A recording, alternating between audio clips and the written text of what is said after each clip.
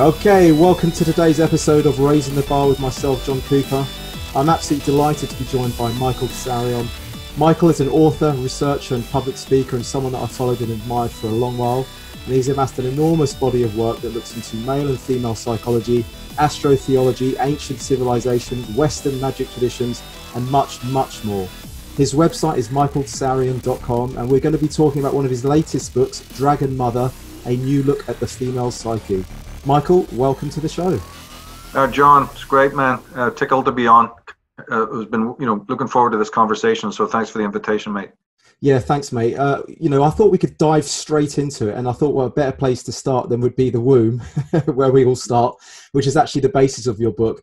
And you talk about this in terms of the dragon mother. So this relates to the effect of the mother's relationship with us in childhood and during the prenatal periods. Now, contrary to what people may think by hearing that term, it's not a pejorative and it simply means the containment or encirclement of the child within the womb, much like the circle motif of the serpent eating its own tail that we see pop up um, throughout history. You then go on to talk about the core thesis within the book, which is actually the terrible mother, which is in Jungian terms connected to the devouring mother. Michael, would you mind clarifying all this for the audience and just laying the brief foundations for the show? I guess paraphrasing the book and its core themes.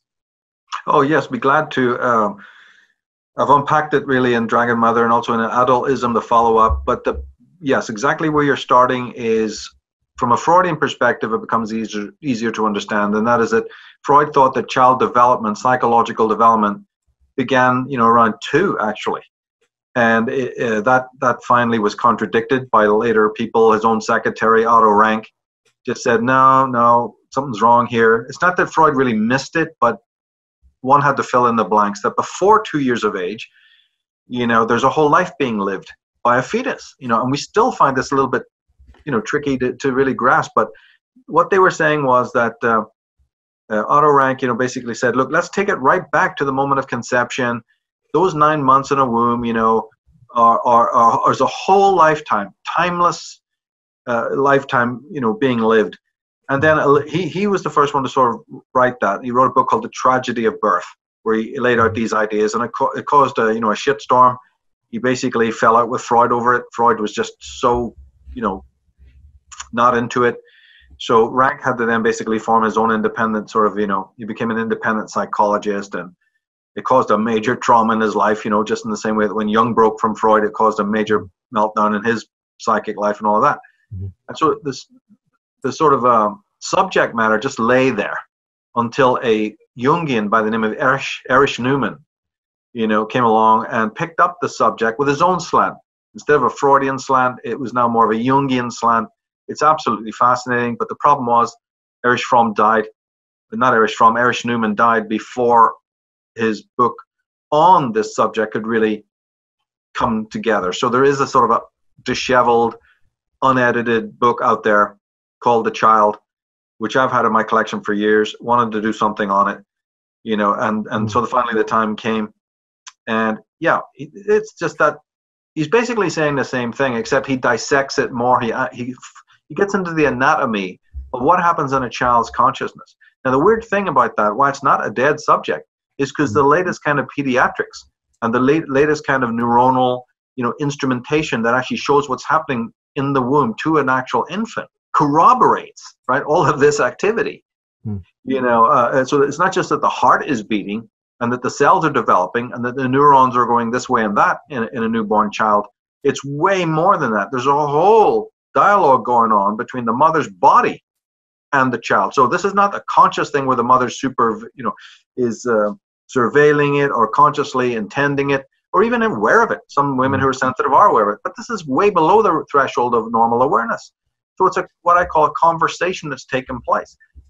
And this is just with the mother, not the terrible mother. If you get to the terrible mother, you know, we it changes a bit, but that's just in general what it is. There's a conversation bioenergetically between fetus and and the body. Just let's put it that way: the somatic intelligence of the mother and, and you actually talk about the terrible mother being the, the sort of the intervention this sort of the, the blocking out from the the natural connection the fetus has with i think you refer to it as the the matrix the sort of the the, the goddess or the just the connection to, to the universe you know universal energy and in effect that is the denying of the child its its autonomy at a very early stage right That's right. This is where there's a not. The mother is just a custodian.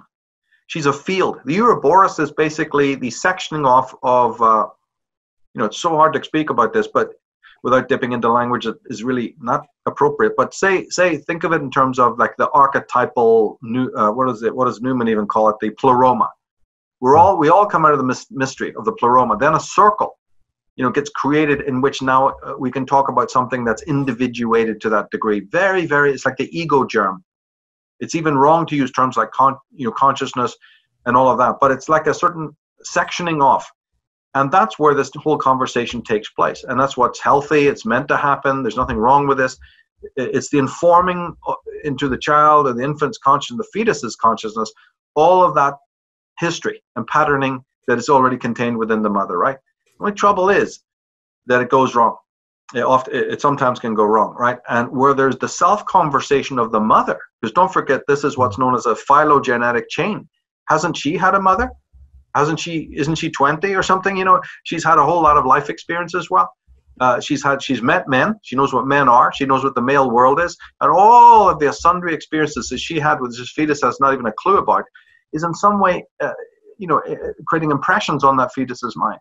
And and this is where then it can go wrong yeah yeah, I mean, it has to. I mean, you, you actually make the example in the book about if you take any sort of organism in, in the natural world, it, it will be dictated to by its uh, its environment or the hostility of that environment. Why why do we suggest that we're somehow um, you know outside of nature in that regard? You know, it's it's almost it's just common sense, isn't it? That you know what it must get passed down. Uh, you actually talk about ancestral collective trauma. Um, you know, could you could you touch upon you, you, talk about a cataclysm. Is there one particular historical event that, that that's sort of been passed down and we've uh, lacked the, the memories of it to be able to heal it, or is this just something that's just been going on through, throughout the history of time in terms of you know pillages, wars, and battles, and you know things that we we are now unaware of? Yeah, it, it's all of them. It, it, two different perspectives on that.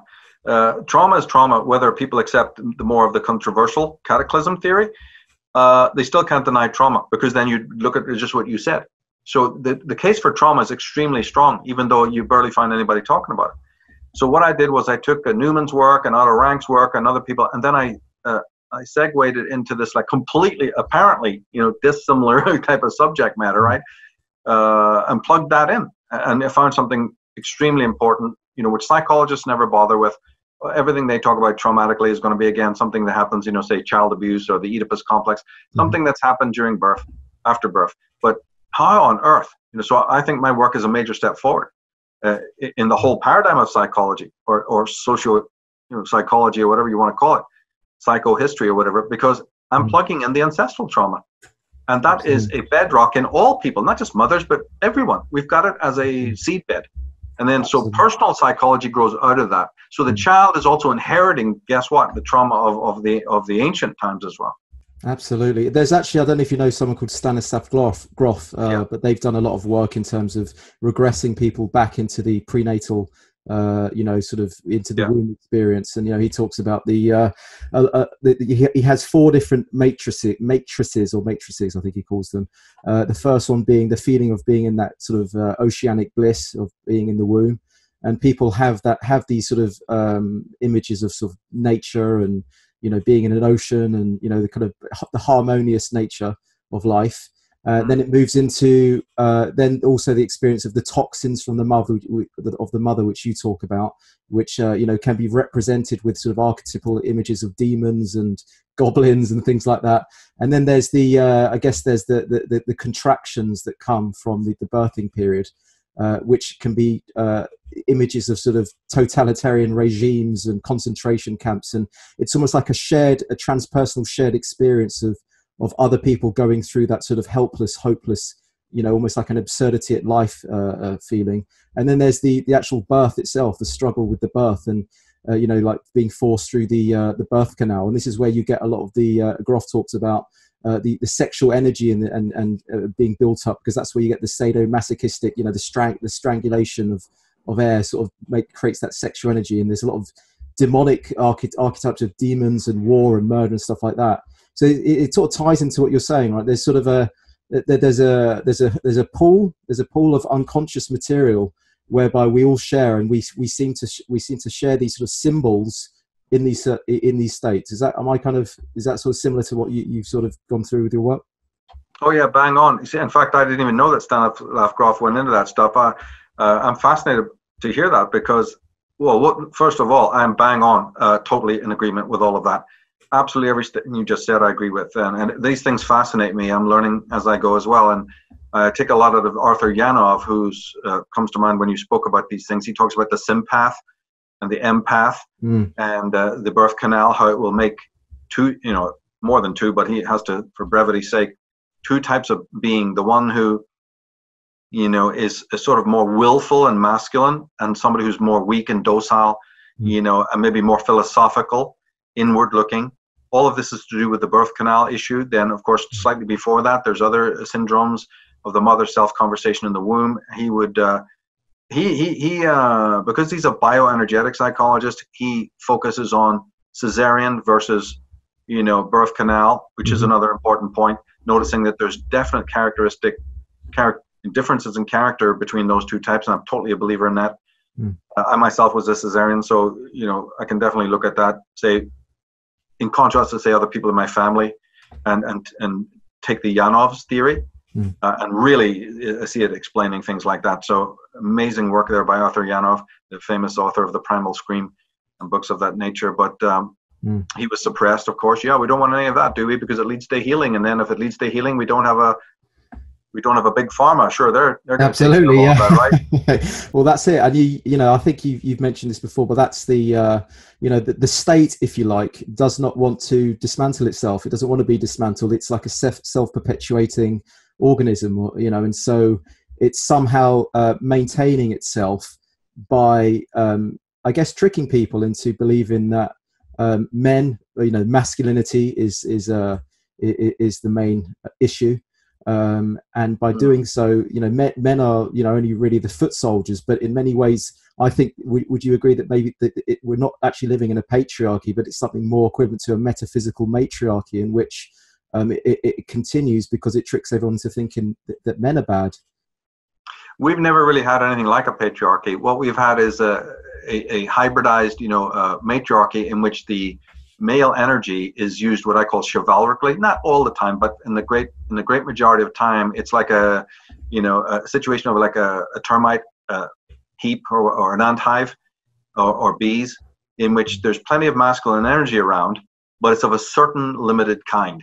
The one that decorates the urbanized environment without knowing what that's for and who's who's really controlling it and chivalrically running around, uh, you know, uh, sort of buffering and cushioning uh, a kind of womankind who's also lost their way. Uh, this is all again coming out of the womb situation, but it manifests in large in ways that we don't see, or we have cognitive dissonance over it. So the kind of masculinity we have right now is just basically a parody of what it's really mm. about. And you're quite right; the institutions go for that. They've actually assisted in this thing because you know it might have been that it got healed, but but with uh, these institutions, it's less likely to get healed because they're very matrifocal.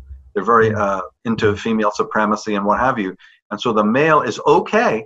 Mm. He's accepted in, in that kind of society as long as he signs on for a particular worker ant mentality. And hell, what the hell they do? They don't. Even, it's not about I sign here. They're already signing before you can tell them, and yeah. they're out there doing it because mommy and daddy and the rest of society. And you'll never encounter somebody who, who tells you, you know, contrary to that Yeah, you know the, these are your agent smiths you know if you look at the matrix movie the agent smiths they're the they're the, they're the foot soldiers of the state and if you know the agent smiths they're the, the complete uh, example of um, you know homogenization they are there's not there's not an individual quality to them no. and um, can you michael could you touch upon um, that sort of um, you know you talk about the chivalric man we're going to come on to the the six the six types or the four malignant types of male and female that come from the terrible mother um, but could you could you just um, touch upon? Uh, I was going to. What did I just say? I just lost my thread there for a minute. Oh, the chivalric man. Yeah. Yes. Yes. Uh, and, and and the and the proclivity to want to go back into a womb-like state. In other words, the the, the crowd or the collective. Well, remember, in those types, especially the four malignant types, delusion is the order of the day. So all, all you have to do when you read those types is decide for yourself which one is more deluded.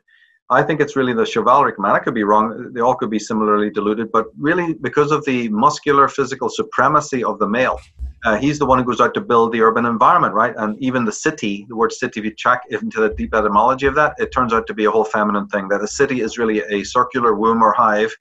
The very, uh, in fact, you'll even find rituals in Greece and Phrygia and God knows where else in the Middle East and also in the mm. Aegean cultures where the building of a wall around the city was entirely to indicate that this was a female precinct and all of that. So I want to get sidetracked into that. But since that energy is needed, man has the physical strength, then he had to be mind controlled and co opted into building something that is ultimately, right, at the very grassroots level, dis- dissimilar to his uh, need or his will. So he's already off kilter. So the most deluded, but then he has to be deluded in order to proceed in this without waking up to what the hell is going on. So all the urban environments we know, without any, you know, without any exception, are built according to female will, right? Mm. And not all of it negative. There's a Demetrian, what's known as a Demetrian uh, aspect of this, which is just women instead of saying we don't want to all hang out with women. We want, we're mothers too. Women are mothers. I, you know, I'm a mother, so I want to settle. I don't like this nomadic lifestyle uh, we need the urban environment. We need a fixed place. So whether it was logical or illogical, rational or irrational, it was a it was a decision of the female will, and for some reason people went along with it. So agriculture began as opposed to say the nomadic lifestyle, and it goes on from there. But come up more to the point of your question is the deluded male is one who witlessly, without any knowledge of the engine behind his will to power, runs out there and goes, right, mama, I'm, I'm doing, you know, hi mom, you know, it's like uh, daddy showed you how to do everything. And as soon as you appear on stage in front of the whole world, say, hi mom, that type. And he builds himself up. He's usually bodily, very armored. Uh, his behavior, we could talk hours for it, is pretty much your typical male today. Yeah. And then they beef themselves up, and their mentality is to, you know, whatever. And they run out there to build the world without the faintest idea. So they're very, very regressed and backward when it comes to psychology. And you can beat them over the head with sledgehammers to understand the stuff we're talking about. They'll never ever listen to you because it's just throw your coat over the puddle for the female. You know, they're deified to the point of absurdity just because they are women, uh, and that's where it ends for them. And their their their reward is in literally laying down their lives. So all that masculinity, what looks like masculinity, you know, this sort of mm. a swashbuckling Errol Flynn mentality, is you know, is actually a facade. It's actually a parody of real masculinity, which doesn't do mm. any of these things mm. and demands equality of the real level, not what feminists are using mm. that word so blatantly and so flagrantly wrongly. There's another kind of equality, an equality of will and understanding that has long been erased, you know, because of what we're talking about. But the study of the chivalric male is actually in that book, and it was partly written. See, it's funny enough, you know, people have said when they read the book, it's really more an indictment of masculinity than it is femininity. And I first balked at that, but then I went, oh, wait a minute, you're right. I read it myself again, you know, in that light. you know, something they're mm. blinking right.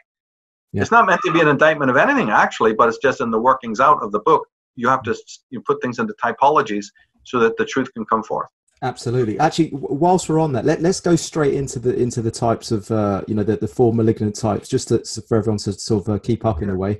Um, so we talk about the the, uh, the the first type being the masculinized female. See, I think these terms threw me at first, Michael, because when you hear the term, the first one you use is the masculinized female, and then we go into the feminized female, and then we have the terrible mother. Have I got that right? Those are the first yeah. three, and then we have, of course, the masculinized male, the feminized male, and the chivalric male. Yeah. Now, when I hear the masculinized female, I I immediately think of a masculine woman in terms of being almost animus possessed, a Kathy Newman type, if you like. But that's actually what you refer to as the terrible mother, I believe, right? This sort of cold and you know sort of Medusa like um, sort of cut off her feelings and sort of more controlling. Is that right? More the feminist well, type. Basically, in the typology, I look at the masculine feminine as the as uh, uh sorry the masculine female as as the normal type. Right. Uh, the terrible mother is an aberration of that. The masculine female is the one we want right? Uh, and there's no mystery to that type, really. They're masculine because they admire men, uh, and they they were integrated easily mm. into the masculine world of the father. They identified with the father. They, they weren't all messed up psychologically through the Oedipus. Right. And they found the transit. You know, if you use Julius Kristeva has a nice tripart, uh, you know, scheme where it's you know you're coming from the childhood across a sort of a bridge, say, and then you get in, you get introduced just like opening a door to the world of the father. And what's implied in that, right, is also implied deeply in the Dragon Mother book, which is that the uh, uh, entrance into the solar world does take time And and the key of it is it's later. Can't stress that enough, right? Mm. So the mother has complete dominance, even though there's a father pottering about, mm. and even though he was Im- important in getting getting you conceived. That's about the limit of it. You got to go almost to almost uh, you know period of five to seven years before you're really introduced to what the father's world is, yeah. the world of men uh, and hopefully masculine men and all of that. So this is where Freud kind of missed it because there's absolutely what constitutes epochs of time. You know the famous seven, right? Is mm. considered a life within a life, and in most of that time, it's the female consciousness that dominates. So when a woman is a masculinized type, you breathe a sigh of relief because when you meet that girl, say she's seven or twelve or fourteen, and she's sort of tomboyish and very, you know, up, you know, mm. works with the world easily and effectively, and doesn't recoil from men. Isn't this little wormy, mm. uh, frigid, you know, bashful type? That's good. That's good. That's a relief. And good. Thank goodness, there's still loads and loads of women like that in the world to oppose these feminist types. And you know, if you stay rational and they go to college, they do well, and they build families, and they mean well, and thank goodness that type is still in the world, right? So I look at that type as being, you know, equal to men. And the main thing, the diagnosis of them, when you want to find out what, what mm. is this woman a masculine woman, you will not hear them uh, decry men, envy men, put men down. They'll be, you know, actually defending the cause of males, yeah. like a kind of an Ayn Rand is, is the absolute mm. apotheosis of that kind of woman. And there are many mm. others. Yeah, I, you know, I refer to it as the the integrated female, if you like. They've integrated yeah, both the masculine and you know, and they embrace their femininity. That's also someone I wanted to mention, and you mentioned Definitely. that in the book as well. You know, whereas it's almost like the other types you mentioned. There's a distortion of masculine energy, you know, or feminine energy. It kind of goes one of goes to the other ends of the spectrum, if you like. So if we talk about now the the, the feminized female, when I read that, I, I just immediately thought of the damsel in distress. You know, the kind of the, uh, the in the Disney movies. You know, the sort of uh, uh, you know hyper hyper passive um, sort of docile um, awaiting the prince charming to come along if you like. And you know i see these being played out in terms of you know you sort of your, your instagram girls that sort of don't have much of a life they don't really know themselves but they're sort of posting up a new picture every two minutes in the hope of some validation and some some some men some of the chivalric men you talk about to come and you know rescue them if you like um, I definitely see that being being played out. Is there any anything you want to sort of add to that? I mean, that you, you mentioned they're also addicted to um, a man that, that not not of his values. They're not interested in his values, but they're just seeking what he can supply in terms of uh, infrastructure and I guess strength, because those are all the aspects that she has abdicated within herself. Have I got that right? Yeah, exactly right. And the passivity that you mentioned is important too. These are the women that Otto Weininger said. These are, I think it was Nietzsche might have said, uh, when you when you'll never learn anything about female psychology from women.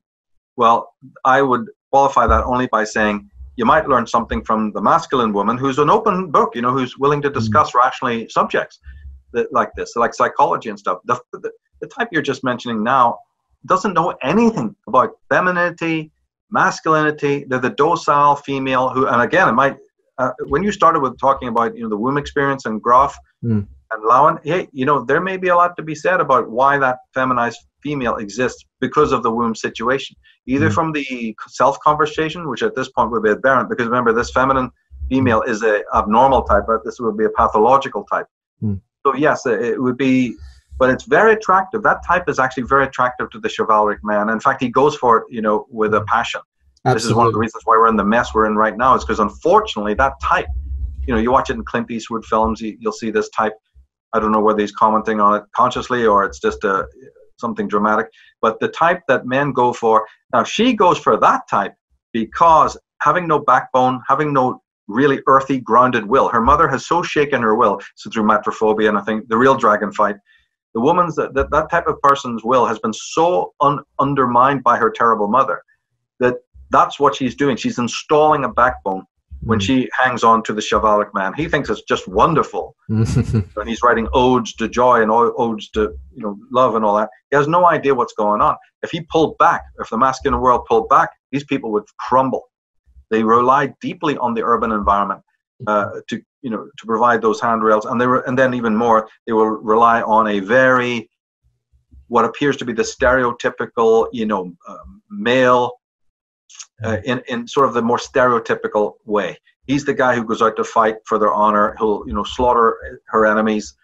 You know he'll bring the meat to the table and all of this stuff. Not see we're talking about typologies. Every one person is all of these types. So we have to make sure we mention that as well they're not hard to find you have to do that when we're sketching it out but everyone even the masculine woman has feminine traits even the chivalric man has masculine traits it's just that they get warped in, in, in various they get, ways they get stuck they get stuck in certain certain sort of states um, I was going to say the the chivalric man. When I when I read that, I you know I see that as the pseudo alpha male. It's almost like the Jersey right. Shore, the pickup artist. You know the uh, the kind of oozing that sort of uh, pseudo machismo. Um, Baywatch. Baywatch. There we go. Yeah. I mean, I see this all the time. You know, if you go if you go just to your local local pub, you see these types of hmm. uh, people all the time, and, and they do they do attract each other because I think on some energetic level the uh, they're both narcissists in a way. You have the overt narcissist in terms of these uh, cocksure sort of guys uh, who you know who they can drink the most pints, they can arm wrestle. You know they they kind of want to they want to outdo each other. Um, and then you have the, the the the attraction with that is with the, the sort of the victim uh, dynamic within the, the, girls, you know, and it's sort of that's in a way a, a, codependence, which is what which is what attracts them together in the first place. Um, and then we talk about um, the feminized male. So the feminized male is someone who's abdicated his his divine masculine. I guess it's someone who's who's who doesn't have his backbone. He's supplicating to uh, the mother. In effect, he's the he's the people pleaser. He's the Hugh Grant. Is that right? He's a sort of he'll, t- he'll turn up to a date with a bunch of roses, and everyone knows how that goes down on a date. yeah. You know, in these old old uh, Spielberg movies, you know, where you see the dweeby guy with the glasses. That's right. He's, he's made several movies like that. Even in Jaws, you see these losers, and they can't get the chick, you know, the blonde, you know, and there's many other, you know, yeah. sort of the camp, the campus nerds. Uh, and you will. I'm not being facetious here because their body.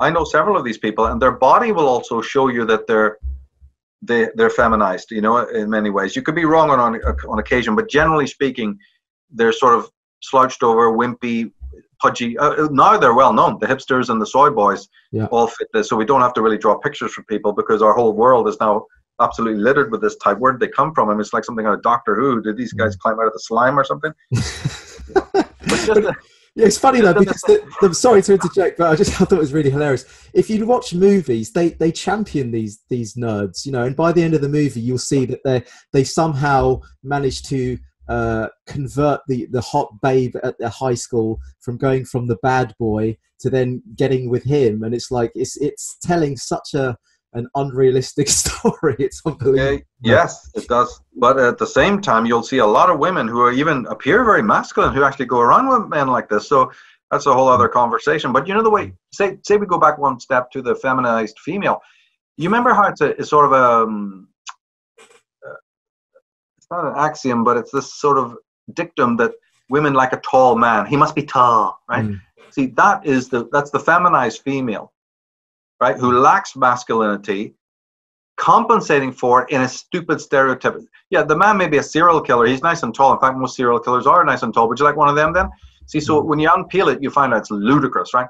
But they, it's entered into our culture from feminized females who really lacking an inner masculine. See, if, remember, if you were equal, you would it wouldn't matter what kind of man comes in. You judge him by his true masculinity, not by some effect of it or some simulacra of it or parody of it, or like you said, the false. It's like an alpha male, not, but you know, mm. he, he has he has some of the bearing. Well, again, the feminized male has can have some of the bearing of a male because he's born a male, so he might even have mm you know, uh, the build or whatever. But that doesn't stop him being highly feminized. And as you say, bring in roses and, mm. you know, waxing lyrical and down on one knee. And, and again, mm. this is a dangerous, dangerous pathological type because that is the type of person uh, who, along with the chivalric male, tends to deify women to heights that they yeah. don't deserve. Women should be respected, like I'm saying men should be respected. But the deification of woman just because she is woman, you're going to find it in the chivalric man, but you find it on steroids when it comes to this feminized type who looks at women as all goddesses. So mothers, women of all kinds, and women love their, their the company of that eunuch, that sort of uh, castrated type, you know, mm. parentheses, because those are the most men. And the gay man would be a, one of yes. these types who, who women love their company. Uh, they can often perform a lot of the, the uh, deeds of a chivalric male, but they're not as uh, preposterous. So you get this as well. It's a flip side of the of the coin of the chivalric man, but to me, just as preposterous and just as uh, you know pathological. Just as preposterous, absolutely. And you'll actually find these femini- feminized males, they will attract the terrible mothers. I find, or you know, the sort of the cold, the headstrong business women, the ones that are wearing the trousers, because there always has to be that dynamic of uh, control and and and uh, receptivity, if you like, if you know uh, what I mean, so acquiescence. Yes, you know? indeed. So you see that say as as we talked about the uh, the what did we say the the uh, there was the other one I mentioned. That's right. The the chivalric man, as you call it, the pseudo alpha male attracts the feminized female. I do believe the um, feminized male attracts the terrible mother. I see that all the time. You know, and these mm. guys they're just like little little lapdogs. Um, you know, to, to her every will. They don't have a voice. They're just yeah. They're just sort of you know. Uh, you know they're, they're being worn out by their partners basically um, and so what what does the masculinized male look like then? What what are his values? What does what is real masculinity look like? The easy answer to that is that that's the kind of male who is so rooted in himself who didn't have a terrible mother. I mean you still can have one and, and grow straight which is thank goodness for that. But usually the mother has brought them up to be men and that's to, to admire the male world. That would go for a masculine woman or a masculine man. So the masculine man follows the same you know uh, contour. He has He's entered the solar world easily. Uh, he's not blind. He sees the negatives, but he is very respectful of what men have done. And I would always put that in the context of the Western world. That's just a peccadillo, right? Because uh, I think a lot of Eastern cultures are deeply feminized in a way that we're becoming, but have not been up until now. Mm-hmm. So, you know, Scots Irish man, Anglo Saxon man, Teutonic man, uh, they uh, really revere, you know, uh, what their forebears have done. And so, what they will do, one of the signs of that, is they will not let anyone in their life, their partner, their girlfriend, you see, the people they meet, their best mates, they will not allow those people to collapse or crumble. So, one of the things of the masculine man is he is kind of a, a he's not chivalric, which is, as you say, a, a, a parody of it, but they will sort of supervene and make sure that their culture doesn't slide and that the people that they know rise to their highest uh, capacity. Now, this man is hated. Uh, in other work, I've, I've also shown it that it's really the third and fourth imago. I don't know if we have time to go there. Yeah. Uh, that's looking at it from a female. Well, maybe we should. Yeah. In a li- in the woman of a li- in the life of a woman, right? And this again is very abbreviated because there's a lot more imagos than what I'm going to say. But there's four main imagos that are of the male that a woman encounters, right? One and two are more humble and you know earthy and workaday and there's nothing wrong with them. There's nothing evil in it. And then there's the third and the fourth that are different because they're more intellectual. They have maybe higher IQs. They certainly have a broader, uh, you know, quest. Uh, the, and the fourth imago really does. He's more a priest type. He's more a sage type. Mm. The third one is more an intellectual, say in a college sense, or a professor, or an intellectual, a great writer, like Marilyn Monroe went with Arthur Miller. That's a perfect third imago, but she couldn't transcend that and actually slip back the second and first imagos you know, sadly to say. But that's what I mean. And there's many examples of that. Uh, a woman who marries a successful politician who's trying to change the world, he does well, mm. you know, and he has a humanitarian streak and he's always waxing about, you know, some philosophical paradigm, all of like that. Then there's the fourth imago. But what I've noticed and what is an absolute fact is that women dislike the fourth imago. They'd much rather, you couldn't pull teeth to get them to go with that guy. That's why the fourth imago doesn't exist in our world, is because it's been, uh, you know, uh, it's been bred out because of the fact that nobody wants or cares about him. But that fourth imago is similar to what we're talking about now, is, a, is definitely a masculinized male. Mm. And there's many examples of, of that, right? Both in fiction and in uh, no, normal daily life. It's what the male really should have been if he had not been molested by socialism and mm. Frankfurt School and all this other nonsense, right? But it's a person who has a deeper sense of caring, not only about the world, the urbanized world, you know, within that Uroboric uh, circle, but also cares about nature. And so his children are going to be, you know, not as urbanized. Even if they live in an urban environment, that father is going to be somebody who takes those children out to nature to paint it or to learn about it or to keep animals or to visit frequently, you know, uh, uh, nature and have picnics and things and just take them out swimming and all of mountain climbing and all of these kinds of things. That would be a masculine kind of man. You're not going to find any feminized men stepping one, you know, stepping one uh, foot outside the urban environment. Mm. Absolutely, absolutely. The only time I can see them doing that is actually, uh, I was actually thinking about if you look at swimming pools that children go to, I think that's almost like a kind of uh, uh, a representation of the womb. You know, so you you actually have the red slides. You know, in swimming pools. I think that's almost like a kind of a willingness to return back to the womb. And these feminized men that you talk about, you also mention in the book about how they have such a they're they're displacing. Well, let's use it. Let's put it this way. Uh, they are looking to return back to that womb-like experience, but they do it through um, you know, joining, as you say, these uh, these unions or, or, or, or, socialist sort of regimes and uh, policies and stuff like that, because in, in their mind, uh, that's what's going to bring us back to that sort of oceanic bliss of the womb. Is that is that kind of? Uh, yes, that's very key. It's a difficult concept unless people have thought about it. But in short, what it means is that politics cannot be understood without psychology, and, and mm. socialistic leftist politics definitely can't be understood until you come from to it from a psychological point of view. And then the next step would be you've already explained it. What is it? It's a, building a city, building a mm. Orwellian superstructure that mm. is based in surveillance, based in uh, male hatred, mm. uh, envy of the male as well as it mixed in there, you know, all of that, and basically run by either women or by the next best thing, which is the worker ants again. But this time they either fall into two categories: feminized men, which you get lots of, like yeah. George Soros, mm. uh, and many others I could mention, or this preposterous Anthony Robbins inflated balloon animal, mm. Mm. Uh, you know, uh, who looks and walks and talks like a male, but hmm. guess what? And maybe even taken by the whole of humanity as a male, but isn't one really? When you know when you peel off the mask. Hmm. So yeah, dire, dire things here. Yeah, it's all done to return eh, to see the can't you can't return to the womb physically. Mm. So then you create simulacras of it. The crowd would be the number one, yeah. but then what the crowd wants is number two, three, and four. See, the crowd, the will of the crowd is actually moving our world and has done now for a very, very long time. Whereas the spirit of Anglo-Saxon man is the individual. Mm. Oh, where's that today? For goodness sake, that's a relic.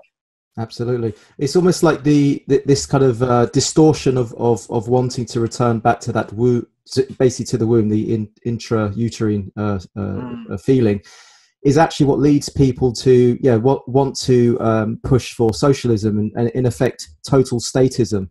And I actually think that the the uh, the uh, feminine, if you like, the kind of uh, this, this, this the distorted feminine it's uh you know it's it's the extra it's all about subjectivity and that's why we see people say you know feelings over facts if you like. It's just whatever they want is what they can be. If they they think they're a you know if, if they if they want to be a, a, tree they can be a tree. You know don't hurt their feelings you know all that kind of thing. It's almost like subjectivity is coming in now.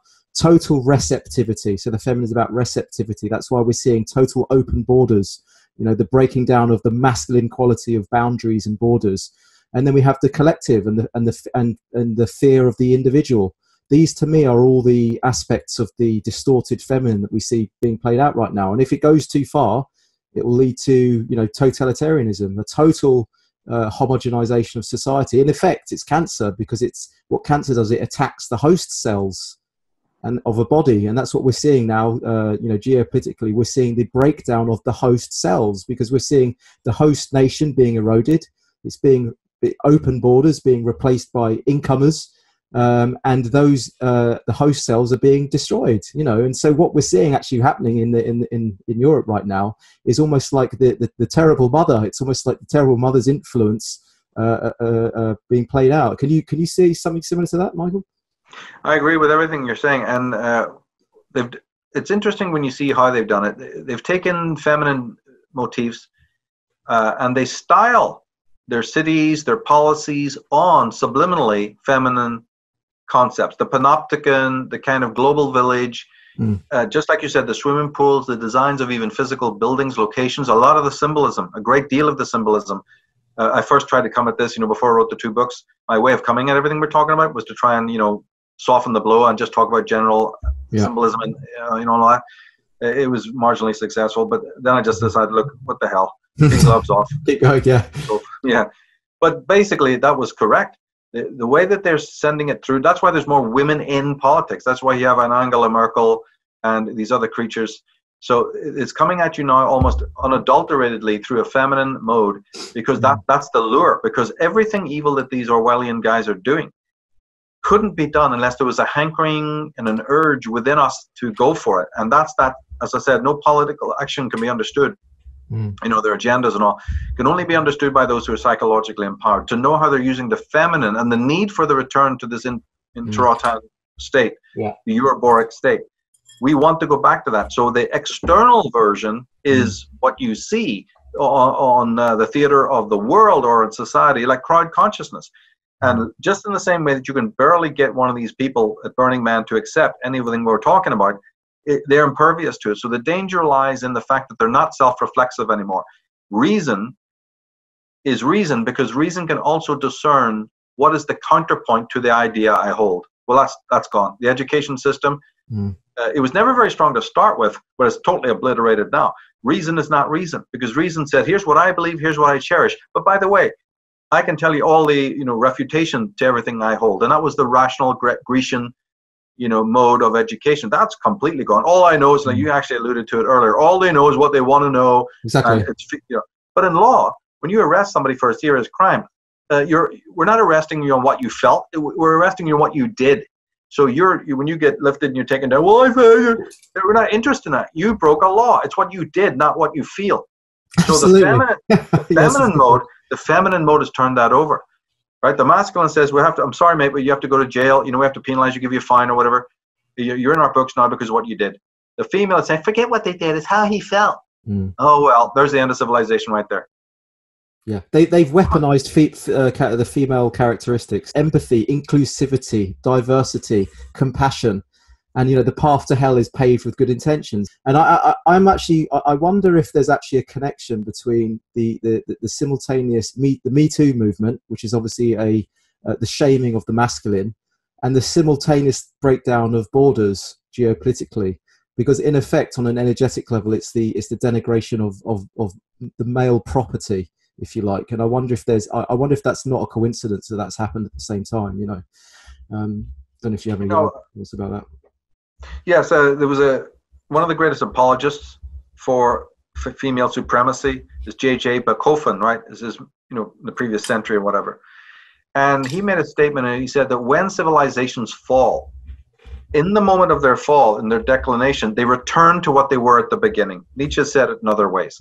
So, in other words, whatever society was like in the beginning, in the primordial, that primordial uh, phenomena, right, will return when uh, civilization starts to decay.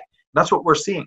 Because the origin of, of, of urban life, as I said, was based on a female model, and females, and, and that was dictated by female supremacy, their will. Man has been given the delusion that he was the creator. No, he wasn't right? Now we're seeing that again.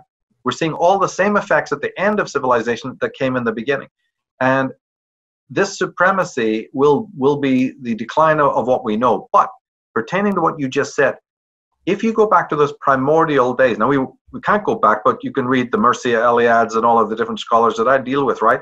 They're telling you that there were no borders. The, the ethos of the Great Mother is this mm. I give birth to all the fruit. Some are black, some are orange, some are white, some are, you know, bent double, whatever. But everything that comes out of my womb, all the races, all the people, are my children. So there cannot be any borders. This is the feminine way. And we see that now exactly uh, typified in what's happening with this borderless, mm. multicultural, you know, sludge world that we're living, right? Where any blow-ins can just come in and sup off our tables and mm. uh, and say, eh, what, you, what, what, what you own is mine, what you created is mine you know, and all the rest of it. Mm. But all of this piracy and all of this pred- predation doesn't matter. In the female mind, we're all equal. Now, the trouble with that is, and I've made, made this before, is that they're not taking a census. They're not asking anybody, do you want to go along with this? They're clubbing you out of the way and say, you will go along with it. Therefore, you know they're not free. So the socialist groups are the fascist groups. George Soros is not saying, here's what we all believe. I got it from the Frankfurt School. Let me read it to you. And now, hands up, who wants to go with this? Because most Anglo-Saxon white men, you know, the 10% who build the bridges and actually know what the hell it takes to build civilization and lay the infrastructure will go, no, we're not going for that. And that would tip the balance. Today, they don't ask you.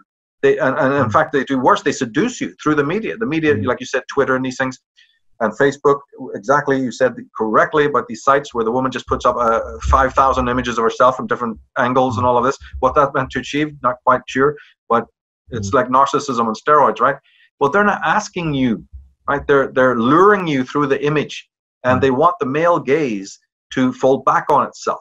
But you're quite right. If you go back to the primordial, the primordial consciousness of the of the great mother and her disciples was ye are all from my womb. I see no separation or division between you. So let's get rid of all of these borders and boundaries.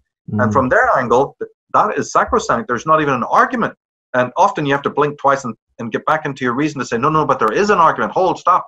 I'm not buying into that because it sounds so nice. And because all of us did indeed come from a womb there's a tremendous drag factor to believe mm-hmm. philosophies like that because of the black hole effect of it. And so to hold back, you know, uh, to hold back from that and awaken from the trance is ne- actually it's quite impossible now. You see men just completely falling down like something. It's like an extraordinary effect where people just collapsing. You know, when this meme comes into their heads, they just go, "Holy are thou," and boom, they're gone. There's Absolutely. not even a masculine thread left. I mean, you see this with, uh, you know, for instance, the weaponization of compassion for the planet with the climate change, you know, uh, the, uh, agenda. Oh, you know, it's unbelievable. You know, I have conversations with people that think they're in their masculine, and they said, "But look, ninety-seven percent of scientists have said." I'm like, you know, it's such a it's such a it's such a, a wishy wishy-washy, pathetic, uh, collectivized thing. You know, eight out of ten cats like this cat food. You know, it's just the the, the lack of the lack of intelligence that goes on with that argument is just shocking but you can't argue against it. You can't even argue no, against it because no. because you're you're effective. What I've worked out is you're effectively arguing with the woman. you know, it's like a it's like a domestic. It's like you know whatever the woman says that you know you have to take that as gospel, but the, the man he's he's immediately a criminal. It's almost because of that female and male quality, the male being considered to be the the, the evil one, the bad one, and the woman always being the innocent one. We mm-hmm. see that being played out politically in terms of like because this is a feminine quality looking after the planet you can't say anything against it if you do you're you're evil or there's something wrong with you you know again it's you it's using the mapping of the of the of the psychology to uh to to, to fit its ends you know it's almost like they have learned more about our psychology than we have learned about theirs. Uh, when I say ours and theirs, I mean the feminine types, right, who are now politicized. Remember, this is a group that had no power. Yeah. But uh, from the time of the Frankfurt School and you know arguably before, um, it's been highly weaponized and it is it, it has studied us so well you know because one of my biggest messages is we've got to turn that around you know and i personally have tracked it to all sorts of extraordinary things uh, one one way of looking at it is when women of certain cultures and these would be the more gynocratic women actually did physically observe tribes where the father son relationship was very strong. This does happen. Mm. and they objected to it. And so a lie mechanism was begun in which women would learn to lie about paternity. You know, and uh, we, mm. we can go into that now. We'll have to maybe explore that in another show or whatever. But uh, it, they didn't come up with that lie just because one day somebody woke up and said, "Let's just lie to men about their paternity." No, it came from observing something they disliked, something that they knew if it continued would ultimately undermine female supremacy. And it's nothing more than the father-son bond. It did exist and then women seeing it some women seeing it started you know these matriarchal uh, leaders said we don't want it.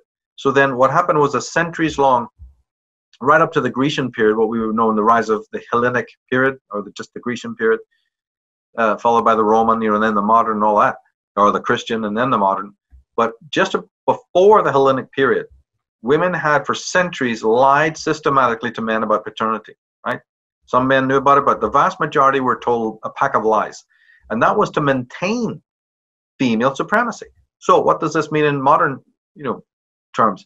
It means that all of feminism's endless critiquing about some aberration in the in the masculine or solar world, right? The patriarchy is constantly deconstructed and critiqued. Yeah, but feminism is only doing that not because there is an actual right aberration within patriarchy right? No, there is. That's wrong. They they want to make it that there is that there's errors and flaws and uh, aberrations within the phenomenon we know as patriarchy. When in fact, once you finally crack this nut, you find out that it is merely to reinstantiate female supremacy that is the movement behind world global feminism, right?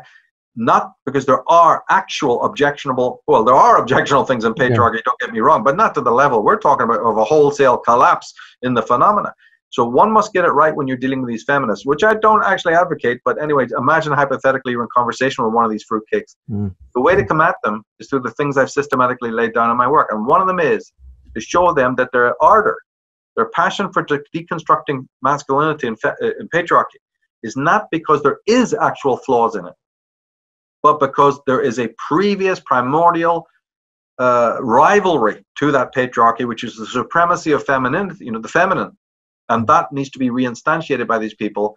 And is a very much a subconscious drive, In others it's conscious who've studied it, In others it's just a, an engine, an atavistic throwback. Right? And then, then of course, once you commit to that, a woman will then happily find all sorts of aberrations. So the history of feminism is really the discovery or the um, or the finding of this and that flaw and this and that error in order to throw in the face of masculinity. But what I'm doing is going back to the nucleus of why this thing happened. Because they didn't want the father son, which is the essence of patriarchy, and there's nothing evil about it. Not one thing evil about the father son relationship. Hmm. But it is the, that's what patriarchy really is when you boil the phenomena back. And that is what affronted the women who said, but then that weakens our urban, urbanization and many of the other motifs that come with matriarchy. That father son relationship is contra to it and we must make sure that it you know is weakened and they weakened it by a wholesale lie which mm no one on this bloody planet addresses but myself you know i found it in in, mm. in all sorts of places you know subtly put but what it amounted to was centuries and centuries and centuries of deception which if the man was the culprit oh my god see if you turn this around and you say well the feminists dug up something of this magnitude we would be crawling around. We'd be forced to crawl around hands and feet, and we'd have a day. They'd have a day in the week where we'd have to worship at shrines of the female. Go, sorry, sorry. Mm-hmm. Here's a few candles. You know, as a man, I recognize our historical. You know, but on the other side, women have shown no guilt, no contrition, not even don't even really know about it. It's in the Old Testament, sort of. You know, somewhat. You know, there. But again, you won't find a woman who, who waste one tear on the history of female crime going on for millennia, and which weakened the father son bond, uh, which in turn then changed the whole direction and constitution of what we call civilization. So, back to the original point. I don't believe we have masculinity. I don't even believe we've got real civilization. We've got a pathetic, weakened simulacra of like weakened somebody mixing concrete, but unfortunately they were half asleep and they didn't do it properly. And so the very concrete holding our world together is feminized, weak, watery. Mm. And a couple of pushes from the right direction, which is what's happening now politically, and the whole thing could collapse. Well, it was a bloody house of cards to start with. So if we're all going to go down in the stew, you know, my message to people is, well, at least we know why it happened, as opposed to going down completely clueless, going, you know, did you hear a bang? I didn't hear anything. Mm-hmm. I prefer we have knowledge in, of the matter, as desperate as it is. I mean, they, they, they talk about patriarchy, and you mentioned it there, but the patriarchy that they refer to is a, a system whereby men are keeping women down. But the, what you're oh. referring to is just what I, what I refer to as patrilineal. It's just the passing down of, of property to the father to the son, and the, the natural expression of the uh, of, of our natural biological roles in synergy with each other, and that's always been the case up until the last couple hundred years. You know, and now that's being dismantled in because it's being uh, considered. Uh, tyrannical you know and that's the uh, that's the war that's going on but we only have the feminized men to uh, counter it unfortunately and a, and a very tiny percentage of masculinized men. Um, now michael can i just because we're coming to an end and i'd really like to tie the loop on some of these things because we kind of we went off on quite a few different uh, strands there. What's the way out of this? Let's say for the for the firstly for the for the masculine. You, you mentioned in the book about the artist and i really like that because you know for me the artist bucks the trend. They rebel against the state. They uh, they're not frightened of destroying things as picasso said you know the the urge to create um, the urge to destroy is a creative one you know and they foster their own identity uh, you know individual style so I really like that idea of the artist. Is there any anything else that we can suggest to men? You know, maybe the the the you know being in touch with logos, or you know, how can they maybe uh, change their uh, environment hygienically? Is there anything that you'd suggest as just some practical things they could try? Well, that's huge because you know the solutions area is primarily about knowing that enemy first of all right which that's why i do things in a systematic way and also why it's taken me a long time to even get to this subject which, which actually was one of the first subjects i was studying Mm. You know, so it's a peculiar road, and it's not for everybody either. I think this will only happen when there's because you need to know Nietzsche, you need to know Otto Rank, you need to know Arthur Janov, you need to, as you say, Stanislav Grof. There's a tremendous uh, uh, learning curve involved. Erich Neumann, who the hell's going to pick up these people, all right? So I try to condense it. So knowledge of an enemy is very important because, as I said earlier, somehow these feminists have really, you know, learned a lot about the, the, the masculine psyche, and that's how you know the situation we have came about. So we have to turn that around. But on the art front, well, that's because we need to also then open up a lot of, you know, remember you asked what was the real masculine man, right? Mm. Well, he's not the chivalric type whose relationship with his own body And in Reichian terms, you see, when I say body, I mean shadow. So here's where the mm. you know, there's, there's, a little bridge between Jung and Reich that probably they didn't even realize existed, but there is, and that is that the body, the chivalric man with his six pack and his broad shoulders, carrying the weight of the world and carrying mm. the weight of mother, you know, that's not that's not what it's all about. There's a mm. different kind of model, you know, more like the Bruce Lee type of model, in which the body is speaking to you constantly, and your disciplines like Tai Chi, Aikido, whatever it may be, or a hybrid of those things, you know, more more of a martial arts type of framing, will be what is also needed, and that's art.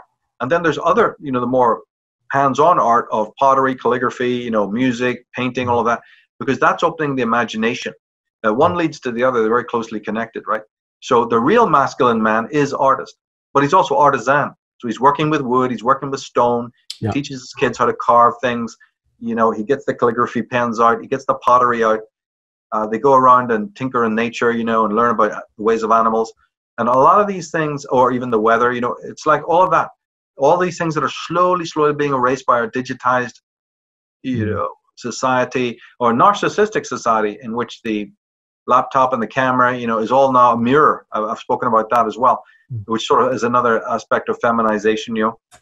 So it's a multiplicity of things, but art is very important because it opens up not only communion with the imagination and helps you. Because remember, this what we're talking about here is fighting great evil. You're not going to be able to do it from just a pure rational, you know, point of view. There's there's more to it. You have to dig down into the reservoirs of inner bioenergy, inner power. Mm. That's one of the reasons why you see these soy boys going about. I mean, I can't even pass them by. I gotta like stop and let them go by. They're so purpo- so hideous. Yeah. So uh, yeah, that that creature, that thing, whatever it is, uh, you know, is is lacking any kind of holistic bioenergy, and their bodies and their gormless faces. They try to grow beards and shit as off, you know, as a parody of the masculine. But yeah. that that uh, sorry, mate, that doesn't cut it. You're still fucking loathsome, right? So the thing is that you know the real male doesn't need to wear the trappings. You know, he doesn't have to wear a t-shirt and drive a pickup truck to prove he's, a, you know, or one of these plaid shirts mm. and grow a, a, beard, Grizzly Adams, and then you know ride a pickup truck to prove he's male. None of that. He's a different kind of being, uh, uh, but he has masculinity oozing from himself. And mm. strangely, you see, we have a we have a world in which artisanship, artistry, is also no is, is considered no longer part of you know masculinity. So that's one one way I talk about that. There's others as well. Uh, mm. But yeah, solutions is very, very complex, but it starts with knowing dynamic. Just as mm. they've studied us, we need to study them. And studying the female psyche, you say, is almost like the spiritual journey. I think I, I, I might have misread that, but it's almost like that is the part part of the journey. You know, part of the uh, the the unraveling. Yeah, going back to the see in another context, more of a Jungian Neumann shadow work means going back to that Uroboric place to, to face the fears. Some, it's like, remember dismemberment is a mythological motif where the hero gets cut up into thousands of pieces. In the womb, for the one who is born to a terrible mother, you have lost plenty of identity there. You were severed and cut up. And so there is a, an incredible journey. Janov talked about it, Reich, of going back to retrieve pieces of our lost selves. Well, our culture mm-hmm. doesn't deal with psychological disciplines like that. Wilhelm Reich was considered some sort of pervert you know, Janov would just forget about him. You know, all of these guys who talked about this essence of shadow work have been completely silenced and, and uh, lampooned. So my work tries to feature their work to say, no, no, the shadow work is about going back to that Uroboric uh, cauldron and finding in it, you know, aspects of your lost self. And you know, this is a great deal of empowerment. It's like going into the underworld, as other cultures would have would have spoken of it. Yeah, so so it, just in practical terms, that means for guys that are listening, just to um, being able to just drop back into your bodies again, back into your nervous system.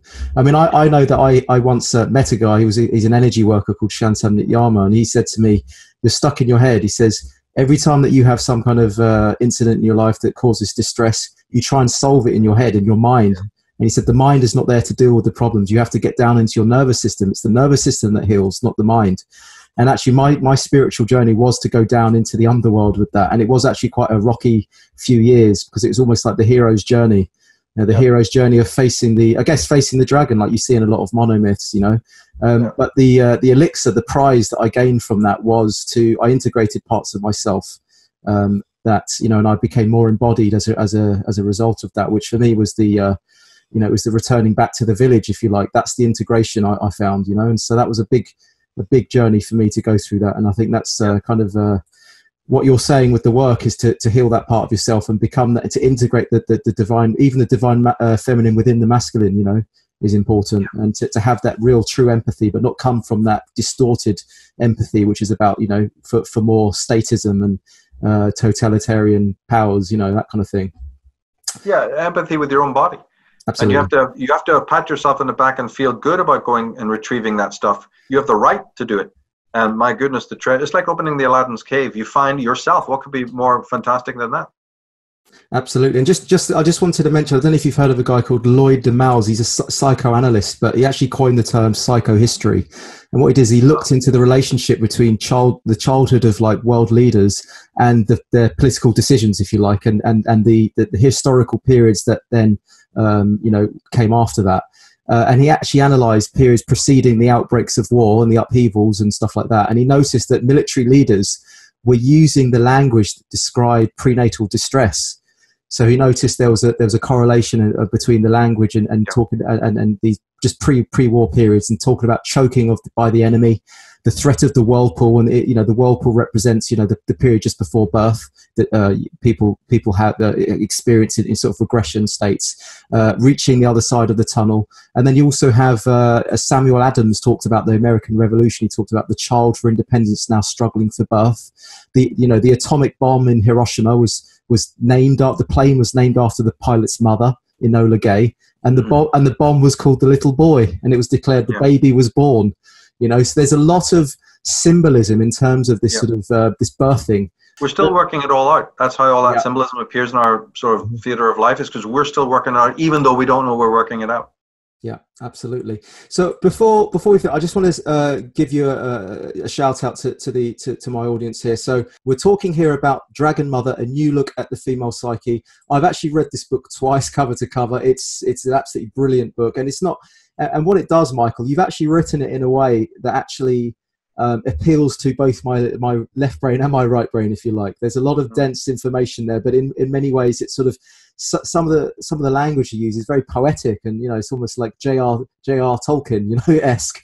Um, and it's it's it's it's beautifully written. Um, and you know, you could even just go back into the book and just you know randomly go into various chapters as you would a sort of finding an interesting article in a newspaper. It's a brilliant book, absolutely fascinating book. You've done a lot of great work, you know, aggregating all these different psychoanalysts and psychologists, and you know you're tying in neuroscience and mythology and you know philosophy. I just find it's absolutely brilliant book. And uh, if people want to find you, Michael, what's the best way to do it? You've got your website, is that right? MichaelTsarion.com. And is there any any other way they can uh, find out about you? Oh yeah, and again, thank you very much, John, for that. But yeah, dragonmother.org. You know, but basically go to michaeltsarion.com because then all the other sites are clearly linked. You know, uh, very very simply linked and uh, there's about 14 sites you see, so it's a devil of a time trying to organize them. But yeah, just go to michaeltsarion.com or head over to dragonmother.org. And there's articles there as well, but there's articles even on the Michael Tsarion site, which sort of you know harp on some of the similar themes as well. So people can Absolutely. definitely uh, read those and contact me, you know, with ideas and thoughts. Fantastic. So that all that's left to be said is thank you so much, uh, Michael, for coming on the show, and you know, hopefully one day we can get you back on, and you know, we can go off on another, uh, uh, you know, uh, a big journey into a, another particular theme. So thank you so much, Michael. Thanks for coming on, and uh, all the best. Project mate. Thanks.